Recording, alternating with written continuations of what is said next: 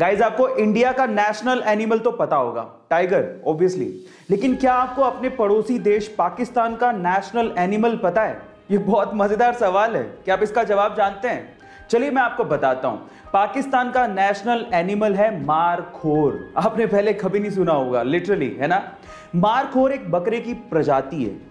अब इसका मतलब क्या है? जरा उसको समझ लेते हैं। मार फारसी में होता है सांप, और खोर का मतलब खाने वाला।